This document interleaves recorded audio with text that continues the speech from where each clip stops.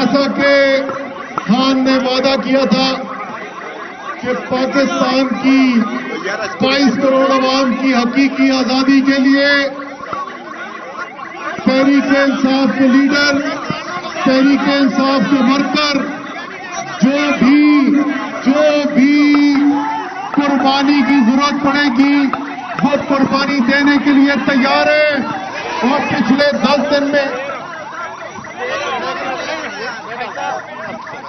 پچھلے دس دن کے اندر آپ نے دیکھا کہ آزم سماتی جیسے نوجوانوں سے لے کے میرے جیسے بابوں تک اور پاکستان تحریک انصاف کے ورکر بلیک ورکر جس طریقے سے انہوں نے قربانی کا جذبہ دکھایا ہے، مجھے کوئی شک ہی نہیں اس بات کے اندر کہ انشاءاللہ تعالی انشاءاللہ تعالی پاکستان کو حقیقی طور پر آزادی ملنے والی ہے۔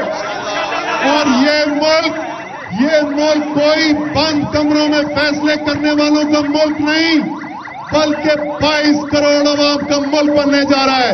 پاکستان! زندہ باد! زندہ باد!